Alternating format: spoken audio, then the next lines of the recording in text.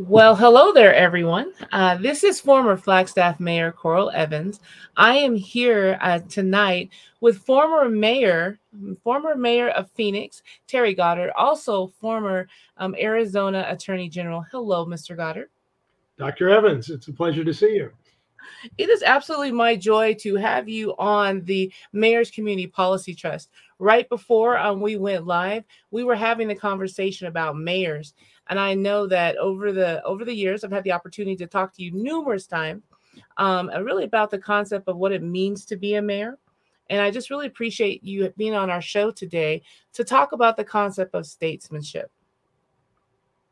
Happy to do that, and and I think about the uh, mayordom as as perhaps the best job in America. If you care about public policy, that's where things happen, and that's where people get served. Uh, uh, other levels of government tend to be a little theoretical and and uh, no disrespect but i think when you have to fill potholes and you have to collect garbage and you have to do the things that actually matter to people in their day-to-day lives and where they know where to call if they've got a complaint uh, you, are on the front front lines and that's what mayors and council people do. Well, Mayor, let's just kind of jump into this conversation. I know that I only have you for a short, a short amount of time, and again, I appreciate your time being here. Um, let's talk about this concept of statesmanship and, and what exactly does that mean to you? Well, I think it's a it's a magnificent concept that usually is is is in the abstract. I'm afraid. Mm-hmm. Um, the idea that you know what you're doing in governance and you do it well. I think that that sort of, at least in my my view, summarizes the the um, uh, the the idea of a statesperson. Uh, but there's a uh, there's an aspect to it that I think is unwritten, and it's probably not part of the uh, certainly not part of the Webster's uh, uh, definition that you quote in your piece. Um, it's it's about civility. It's about being able to understand the other person's point of view and to respect that. You may not agree, but at least you can respect what they think, why, understand if you can why they think that way. And, and I think that's been missing in an awful lot of the discussions that we have in America today. You know, it's interesting, Mayor, that you mentioned civility, right? Um, and the ability to to listen uh, to someone else's point of view and to accept the fact that you might not agree, right? Um, and so can we talk or can we just maybe talk a little bit about how do you how do you bring together policy um, for a group of people, right? For a city um, that you know you're talking to a lot of different people, um, some of whose ideas you agree with, some that you don't. But how do you craft that into a policy that works for that works for the community that you serve? What does that look like? Well, it, it, it, obviously depends on the issue. So there are, you, you, can go from fixing potholes, uh, about which there's little debate usually, uh, to um, uh, long-term planning and zoning, about which there's a lot. Um, you know, what kind of community do you want to build in the in the great future? Um, and I, I think that there, there are a couple of tricks, or a couple of, of important aspects to this. Tricks is the wrong word, clearly, and game is the wrong word. So I'll try to leave both of those off the table. Um, but clearly, one of them is to get as much input as you can. Uh, one of my things that I'm proudest of in the city of Phoenix when I had the opportunity to serve there was we really opened the doors. That was literally my slogan to open the doors to City Hall and we brought in groups of folks who had never really had access to the governance process in Phoenix. As big a city as it had become uh, back in the uh, early 1980s, it was still ruled by a district elected council, excuse me, an at-large elected council. We changed that. We changed it to a district group, uh, which I thought was very important because in a city that size, running at large was just almost incomprehensible for most citizens. And when you broke it up in eight districts, they had more of a chance to talk to their elected council person. Not guaranteed, but more of a chance. Yeah. Um, and we did a series of forums across the city that allowed folks to come in and and have at it on any subject that they wanted, but it was interesting how quickly it boiled down to one or two really hot button uh, issues, and some of them we could solve. Some of them were relatively easy. The the one that comes to mind uh, is left turn arrows. Uh, we were a city, believe it or not, and it wasn't a political statement. It was a matter of traffic engineering. Our traffic control people believed that left turn arrows were an abomination, that they slowed the traffic at getting to the destination, that their only goal in life was to make sure that the through traffic went as fast as it possibly could. And uh, we joked for a little while that that meant that the only way to get anywhere in Phoenix was to turn right, uh, either politically or physically. And because you couldn't make a left turn, it would be worth your life to try to do that. And uh, we did a series of forums with the successor. The guy who came up with that policy resigned the day I was elected. So I think maybe he saw something on the on the uh, on the the horizon. His successor basically had the same point of view. And we did these these series of district forums where we asked the city staff to come in and listen to what people had to say. And in the first one, the number one issue was why doesn't this city have left turn arrows? And he gave a very eloquent response as to why it was just wrong for the management of traffic and we weren't ever going to do that. And he got booed. And and he was a sensitive man and a smart one. And so at the next session, he gave the same answer, but it was much more calculated. It was much more, well, here are the reasons, and here's what we need to think about, and we'll we'll tell me what intersection you're interested in, and we'll do a study. They boot him again. So for the third session at a different council district, somebody asked the question. It was it was absolutely as as absolutely uh, predictable as as the sun rising in the in the sky, and um, at this point he said, "Well." Tell me which intersection you're interested in, and we'll we'll we'll get an we'll get an arrow in, installed in that intersection. I didn't have to say a word. I didn't have to tell him that I thought the right answer was to put in uh, left turn arrows, and that I thought we were idiots not to do that. I just let him listen to the people, and he came to his own conclusions. So sometimes uh, getting the your ear to the ground can have some very positive results. So, Mayor Goddard, when were you mayor of the city of Phoenix? Oh, it's ancient history now. I was elected in 1983. I went into office in 84, and I left office in 1990. 1990. Quite a while ago. But it's amazing, as they say, the more things change, the more they stay the same. Many of the issues, I'm sure, are very similar to what you had to deal with in Flagstaff, and uh, the, uh, the the whole set of how do you make sure that citizens have a chance to get their say. They don't they don't always get their way, but they should have a chance to have their say. And I think that's a that's a, a, big distinction. Many citizen advocates feel, well, if I get involved, I should win. Well, it doesn't work quite that way, but at least you need to hear their voices. Yeah, I think that that's a very good point. You know, definitely uh, sounds like um, the the issues that you were tackling when you were mayor were also the same issues that I was tackling here in Flagstaff when I was mayor, and I would say that most mayors have been tackling since I guess the beginning of mayor mayorship. Um, mayorship, good word. Yeah, it's like we're trying to come up with the word, but um, there is a sense, and and uh, to me, it seems as if it's grown, and maybe we can kind of talk about that. It seems that over the years, um, before there was a sense of we could have a conversation and talk about it, and understand that it may or may not happen, or at least listen to the reasons why perhaps that particular um, proposal wasn't accepted. But it seems like um, more than ever now, um, you have groups that come up and they have an idea, and if their idea is not accepted, they're just mad, right?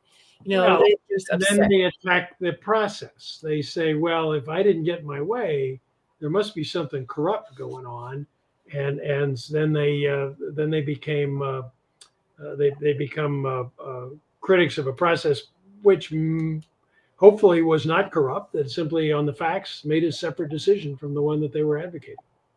You know, it's interesting that you mentioned the process because you know in the city of Flagstaff there. Um, there was a newspaper article about the fact that there are more open council seats than there are people running for council. And many people have said that the process needs to change. And it's because people had to get so high a level of signatures but there's two people that managed to get the signatures needed to get on the ballot. And but there's this thing about we need to change the process. And a couple people have asked me, and I'm like, eh, do we need to change the process? Or perhaps the people who did not get on the ballot didn't get enough signatures. Maybe they started too late. Or maybe they just didn't get enough signatures because people didn't sign didn't sign, right? And so is it really the process that is that we need to change? Or do we need to look at who was running, when they pulled paperwork, you know, how long it was taking to gather signatures? There's a whole bunch of other stuff that goes into it. Well, there really is. And I think in a case like that, I, I spend a lot of my life, it seems like, trying to get signatures for, for initiative petitions and for candidates. Um, and and the important thing in that process is that everybody knows the rules. Mm-hmm. Uh, you know what the deadlines are. You know how uh, how you prepare for elected office, and getting signatures is a pretty good test. It's not the final test, but I think it's a way in our democracy that you can at least say that my fellow citizens believe in me enough that they'd like to see my name on the ballot. Uh, that's not a casual undertaking. That's not something that ought to be done just because you woke up one morning and decided this was going to be good for you. Uh, you know, it needs to be a group effort, and and getting the signatures. Uh, I, I, I defend that process. I think it's one that makes a lot of sense. And to throw out the process just because not enough people took the time to work with it, uh, I think is a pretty invalid invalid reason. Um, and and I'm I'm sad to hear. And, and now, of course, people I guess have to write on to the ballot, which is a whole lot more difficult than the initial process of getting a petition. Yeah. Uh, so they, they, they, hopefully they will because you need those candidates in Flagstaff. But it's uh, I've generally found the candidate petition is not the threshold uh, that that deters people who really believe they can serve and have a constituency ready to help them. Best example I can think of right now is here in Maricopa County. Uh, suddenly we had the resignation of the county attorney. And because it was relatively short before the deadline, the April 4th deadline for getting uh, petitions signed, uh, people really scrambled. And some of them went out and paid a lot of money to get those signatures. One candidate that I happen to to uh, think very highly of, uh, got all of her signatures in 24 hours online.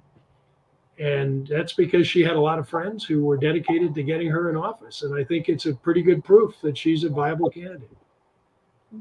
Thank you for that. Um, because I know a couple people asked me, and I was like, you know, the first step in being vetted is the signature process. You know, as somebody who's also had to go out and chase down a lot of signatures over the years, I was like, that's the first step I'm not necessarily sure that the issue is the process as it is, like you said, the timeliness, you know, who and those types of things.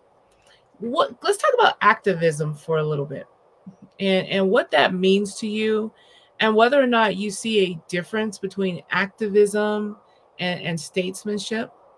And if so, what might that look like?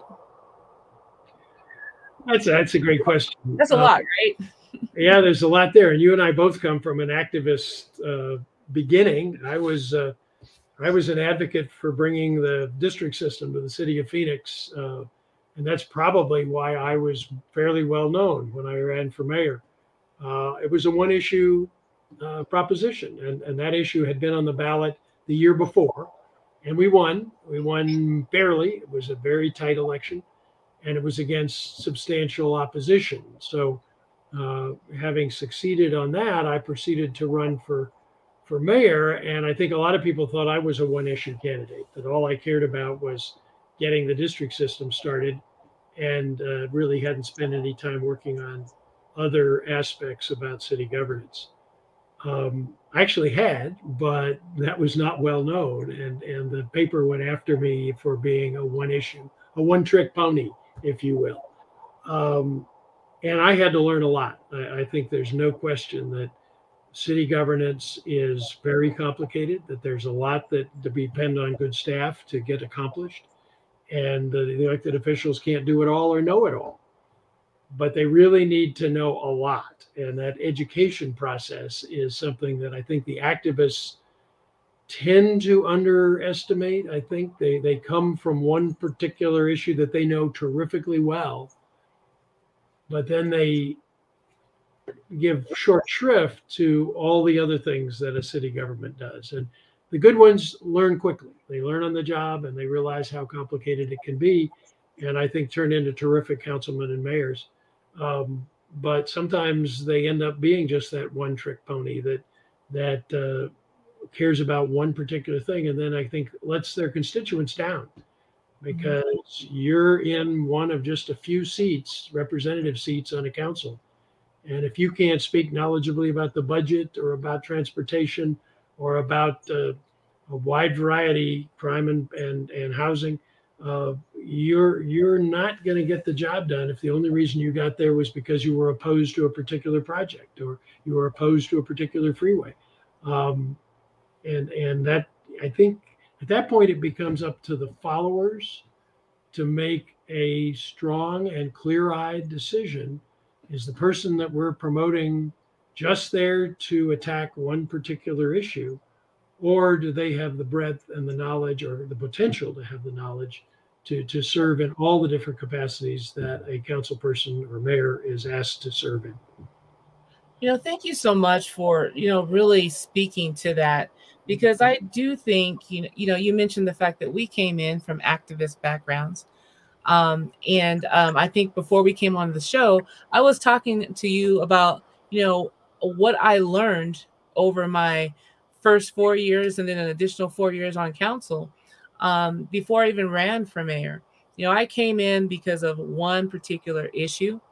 Um, and it was interesting because before I was sworn in, that issue was actually solved right? The council decided on that issue, but you are sworn into a four year seat.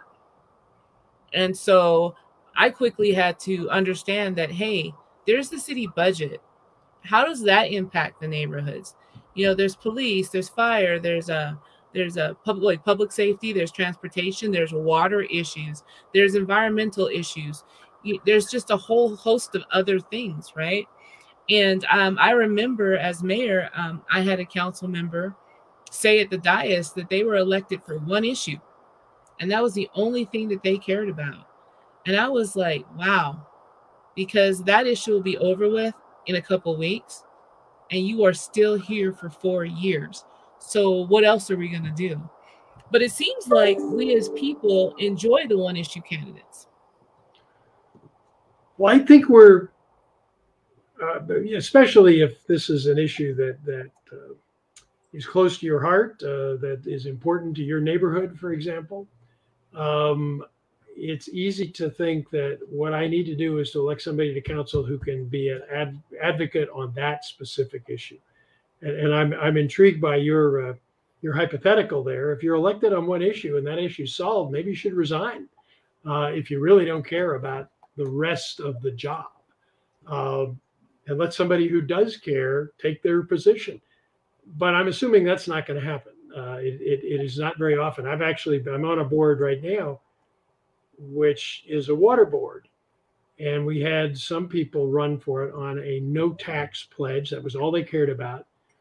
And uh, one of the people that was elected, after she actually learned what it was the board did, she did resign because she said, Well, I I realize now that this is a very complicated issue and, and you have to deal with a lot of management of the water system. And that's not what I thought you did. I'm just here on the tax issue. And so I'm going to vote no on higher taxes and then I'm going to leave. And so there was an honesty about that that I thought was refreshing.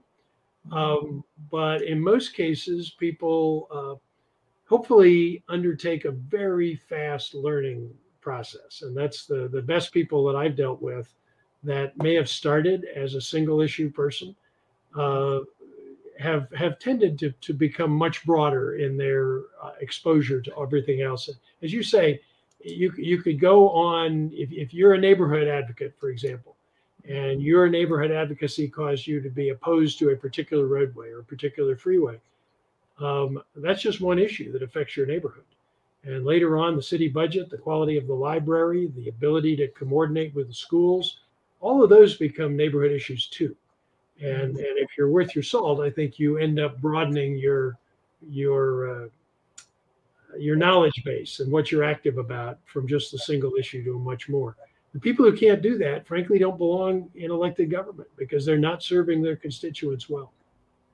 And so this is something that, you know, we as constituents, I say we because, you know, we vote, um, and also people that are listening to, you know, this podcast really need to, I think, take take to heart. Um, you know, as we move into elections, as we look at different things, right? Um, I think we need to take into heart and really push the candidates to to um, speak more about like this is your passion and this is what you're really good at and this is what you know. Can we hear now? What are some ways that you look at um, growing your knowledge base, um, accessing additional information? How does like maybe if we're really excited about sustainability, how does um, transportation fit into that? How does parks and recreation fit into that? How does economic development, jobs, and public safety fit into um, your knowledge skill set? If you don't have it, how would you get it? Because really, it's all those things working together. Absolutely, Mayor. The the it seems to me there are two critical roles in a democracy. One is the leader, and you need quality leadership and knowledgeable leadership. The other one, however, is the followers, and and follower is a 24-hour job too. Uh, it seems to me if you are somebody who's going to give your vote to a leader that you believe in, uh, you need to hold them accountable. And I think you put it very well that, that there there are things beyond that single issue that you may care about right now that uh, a good follower has to be concerned about as well. And so I think we tend as voters, and we're all voters, and we're all both leaders and followers, depending on which particular issue we're, we're talking about um, we, we need to exercise our followership uh, just as much as a leader has to exercise their leadership. And, and it seems to me responsible followers are in somewhat short supply these days. I like the way you put that. Um, that followership is a 24 hour day job, too, right? And I think that that's pretty important. And I do think that um, sometimes we forget that you know, sometimes you have a constituent group help someone to get into office, and then they're like, okay, the problem's solved. Um, yeah, we're done. You know, we're we're over here, and it comes down to you actually need four votes to move something forward, right? Or there's an issue with the budget, or it's going to take five years to move that particular project forward because that's just kind of how it goes. And people end up getting really super disappointed really quickly because it didn't happen like overnight. And you you really um it takes it takes time sometimes. Like some of this stuff didn't happen instantly. You know it didn't just get broke um and you can't just necessarily quickly fix it.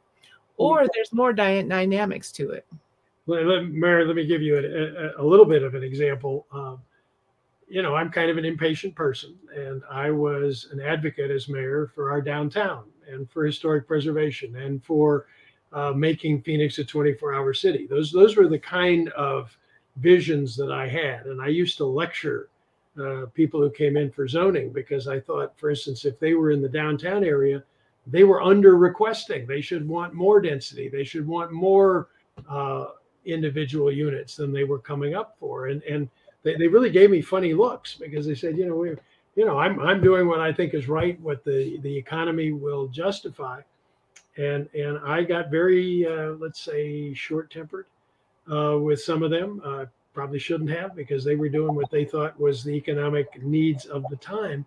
And now, 30 years later, the apartment buildings and the new developments that I wanted to have right now are beginning to happen. And I think to some degree, the, the groundwork that we laid back in the 80s was important to being able to, to have these projects come forward now. But the idea that it would take 30 years for my ideas to actually happen would have been very depressing to me at the time. And, and I still find astonishing that it, it uh, governmental processes grind very fine and they do take time. And I, I'm continuously surprised by that yeah, you know, I'm sitting here thinking to myself, okay, at least it didn't take 30 years for some of the stuff, right? because I was talking to somebody the other day about affordable housing. They were like, you guys did absolutely nothing. And I was like, actually, I go, I pointed to like this dirt lot. I was like, you see that that's being dug up? They're like, yeah, I go, we voted on that five years ago. You know, I'm like, literally, we voted on that five years ago. The Rio de Flag project um, in Flagstaff is another um, thing, been going on for 20 years, right? You know, and it's so close, but it's it's almost there. But I'm sure that the mayors that started that years ago also didn't think it was going to take 20 years. But I bet you they're pretty happy to see how close we are. Um, but people don't necessarily realize that, right? And then when you have the coming and going um, of the elected bodies and the and the differences um, in the elected um, the elected position, sometimes, you know, um, it can take a while. Yeah, it can, and and part of that reason is that there are there are details that the advocate we talked about advocacy versus statesmanship uh, the advocate uh, wants to jump right to the conclusion. They want to say, I need more affordable housing, or I need uh, better transportation, or I need uh, left turn arrows. And uh, they want it to happen tomorrow. And often there's engineering that has to go into that, there's finance that has to go into it, there's long term notice that has to happen. And frankly, we talked earlier about making sure that everybody's voice is heard one of the problems or one of the aspects about making sure that everybody's voice is heard is it takes time to make sure that they have notice and that they have a chance to stand up and speak for or against, uh, depending on their preference. And then the council needs to make the hard decision. But getting those voices in is a time consuming process all by itself and then also sometimes you know you go through that process it ends up before council and if there's not the the will you have to turn around and repeat that process again because you know council kind of kicks it down the road because they weren't sure that everybody was heard right? Mm-hmm. because the vote might be going a certain way that some people are like well i wasn't heard. It's like no you were heard it's just that this is the direction. Um you know it's that it's that sometimes people want really what it is that they want and they don't take no for an answer. Or they don't take different you different put you put your finger on one of the, the, the big conundrums. You, you want to have a process especially at the local level that is as open and accessible as it can be because otherwise citizens have no confidence in the decisions that are made if they feel they were frozen out from the beginning and that was one of the things that I found was true of Phoenix when I was running for office was people had just been left out. Uh, there had not been uh, the ability to contact the mayor or the council, and people knew it. And so the credibility of city decisions was highly suspect. Uh, and I think among most of our community, they basically said, oh, yeah, the Phoenix 40, the the powers that be, they're going to get their way regardless of what I think. So there's no reason to be involved. So we tried to change that. And I think to a significant degree with the district system and other things we did, we were able to change it. But then as as a new mayor, I had the second frustration, which we just talked about. That is, you also owe your constituency a decision.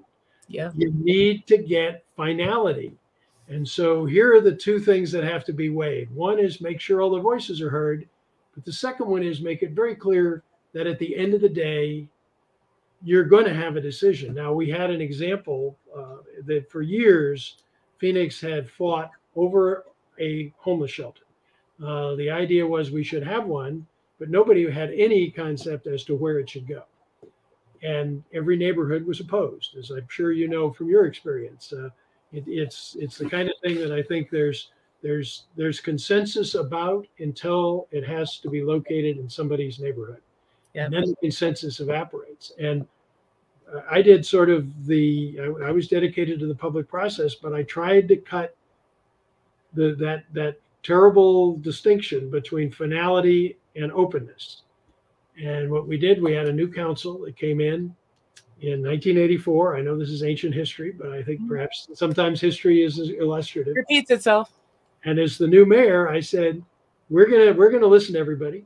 We're gonna consider all the options, and we're gonna make a decision by the end of January.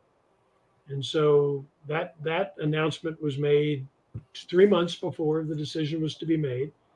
And and I held the council's feet to the fire, and they did make a decision on a very controversial issue by actually the 31st of January. They went to the very last day, but we got it done and we got the, the location sited and ended up being the first major city in Arizona to have a committed shelter for homeless people. And I'm very proud of that. I think it it uh, it ended up with the right conclusion, and it's still in existence today, and it's run by a nonprofit. Um, but it took the combination of opening the door and getting their opinion, and then also putting in a deadline. And I really think, you know, when I look at the concept of statesmanship, you know, Mayor Goddard, that to me is what statesmanship looks like. Um, it's really important what you said. It's it's one thing to listen to all the information.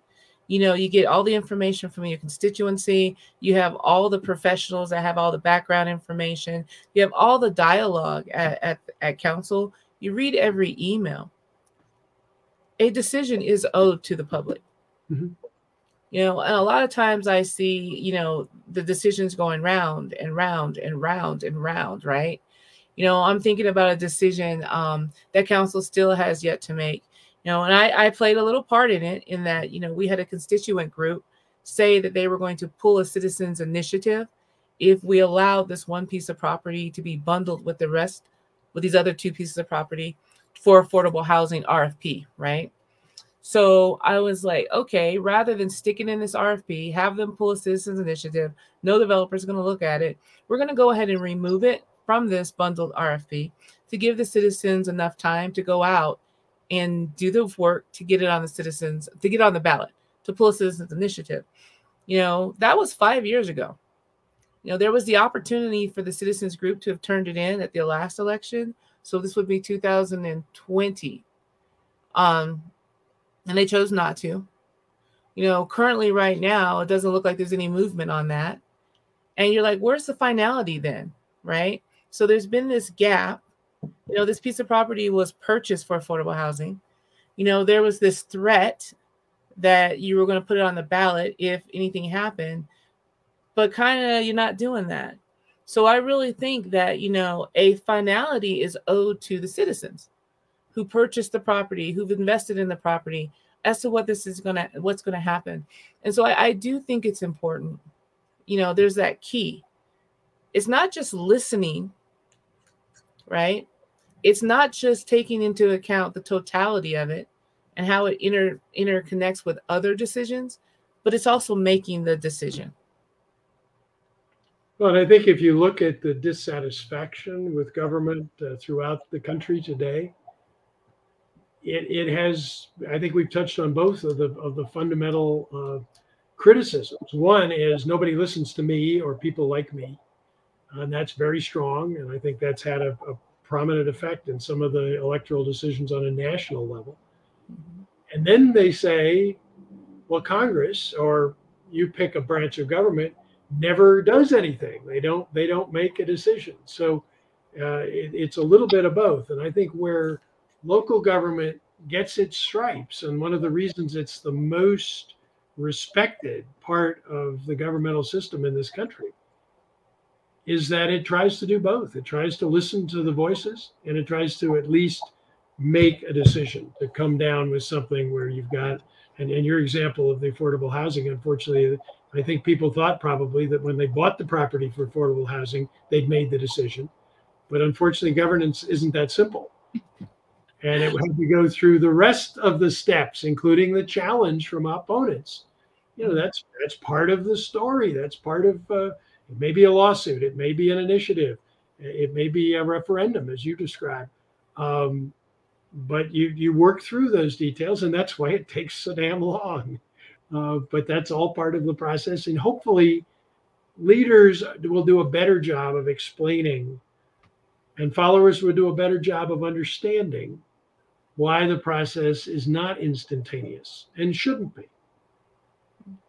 So, where does empathy play a role in statesmanship or leadership? Or do you feel that empathy has a role in any of this? Oh, absolutely. Uh, empathy, being able to put yourself in somebody else's shoes, is critically important because you, you, you the, the, the, dictator I think we're seeing right now in the uh, in, in Eastern Europe, uh, you know, the dictator misses an awful lot because they only listen to what people who agree with them. And frankly, today with social media, I think we're all following into that trap where we tend to choose those avenues of expression that we agree with and that agree with us. Um, empathy means you almost have to seek out different points of view. Uh, I want to encourage my students. I teach a class in law school, and and uh, I've heard this said more and more across the country. Is a, a, a well-rounded student needs to seek out people that they believe they disagree with and find out why they're saying what they're saying. Why do they believe what they believe? And, and I think we all have a responsibility along those lines. Instead of just joining up with the folks we're comfortable with, uh, we're, we are going to be in increasingly hostile camps, unable to understand why anybody could have a different point of view. And uh, I, I just think that's the beginning of the end of our democratic system. If we can't understand, empathize with other points of view, and be able to accommodate it in our in our decision making process, and that doesn't mean you have to kowtow to every point of view. Obviously, that's impossible. You can't make a decision if if you are are spread out in every direction. You've got to be able to focus on a result but that result can be tailored in many different ways. And I think that's where compromise comes into the equation, something that's become a dirty word in today's politics. But nonetheless, I think compromise means you've got a you've got a good idea, one you believe in, but you're willing to say that maybe it could be better if we consider other people's points of view. I think that that, that is so critical. Um, and I thank you for speaking directly to that you know, the idea of, um, of empathy and what that means. Um, and the fact that, you know, one of the reasons why, when I did my doctoral research, I focused on mayors and vice mayors because I think that mayors and vice mayors understand fundamentally the importance of having conversations with everyone, right? I will tell you that, um, and you know it from firsthand experience, as a mayor, you have to talk to everybody. you know, you get invited to many different functions and activities for resolutions or proclamations, stuff that you might not have even known existed beforehand. But you have to have you have to talk to everybody. You know, you get to be mayor by making sure that you have relationships with at least 51%, right? Um, it's, it's different than just being a council member and and being able to to be empathetic and to understand and like you said this concept of um compromise that now you know it's my way or the highway and nobody's interested in compromise. Um and that makes it very hard. It, it does. I would say impossible to put together a governing coalition that uh, gets things done. And one of the jobs of leadership is to figure out okay how do i get from a to b? Not just to solve the problem in front of you but to do what's right for your community and and that means usually that nobody has an absolute perfect answer. Uh, and and I, I, guess there's no uh, there's no better example than that than a well-run city because you have to accommodate uh, a whole lot of different aspirations desires lifestyles and and it all makes up this wonderful hodgepodge or, or mosaic that we call Flagstaff or Phoenix or whatever city it is you care about. So our time is uh, getting ready to wrap up. Um, but I wonder if you would just share with us, Mayor, and I love calling you Mayor because I know the last time we had a conversation about being a mayor and what it meant and everything we were doing, it was just one of those conversations I think went on like well over an hour. Um, um, what do you think about the concept of a statesman? And I use that word as a um, as a multi-gendered word, um, right? I think that you know there are plenty of women who are statesmen. There are plenty of men who are statesmen. I think the problem is we don't have enough of them, and that our focus tends to be bogged down on either the activist side of things or people who are really good politicians, but they're not exactly statesmen. Um, is this something that is this a skill that can be learned, that can be taught? If there are people who are interested in in really getting to the next step, you know, how do we get well-run cities and towns and communities you know, state representatives, governors, you know, presidents. How do you grow people into that? Well, it's a great question. I, I think that the, the short answer to what you just proposed is that I do think you can you can have certain attitudes which are helpful. Empathy, you've mentioned, is certainly one of the critical ones. Uh, uh, an ability to learn and, and, a willingness to know that you don't know everything is is a critical attribute, I think, for leadership in a municipality. Uh, and the ability to respond to crisis, as you know, uh, you never can tell what the next day is going to bring. And it could be a fire, it could be a, a natural disaster, it could be a great opportunity for your community. And you probably haven't laid the groundwork as well as you would like to for each one of those challenges. So the ability to handle crisis is uh, has got to be high on the list. Um, so how does a statesperson or statesman? I, I like the way you uh, you clarify that it's not a gender specific term um, how do they grow into the role? I think nobody gets elected to any public office and they're instant fits. Uh, there's a lot they have to learn. There's a lot of humility that goes with any of these leadership positions, or you're not going to be successful. You think you've already got the answers. I can assure you, you don't, um, because there are just too many aspects to a public policy position so humility ought to be fairly high on the on the list of, of states uh, requirements. I think it's learned. I don't I don't think anybody is born to a position like this, but I think the ability to learn, the ability to handle crisis, the ability to be broad-minded and to see things from other people's point of view are all attributes that go into being an effective statesman. Um, and uh, we need more of them, as you said. We need more people who are willing to take on one of the great challenges in life, one of the great opportunities to serve, uh, but to do it well, to do it to the most of your God given abilities. And I think that is all we can ask. But when people they cut the cards and only deal a couple and think that they're done, um, that's not what these jobs require. Yeah, you know, one of the things I was clear with telling people, I was like, I was elected by the people who elected me to be their mayor. I was also elected by those same people to be the mayor of the people who voted against me, as well as the people who couldn't vote for me, you know, people who are under the age of 18, undocumented, people have prison background records. You are elected to be the mayor of a city.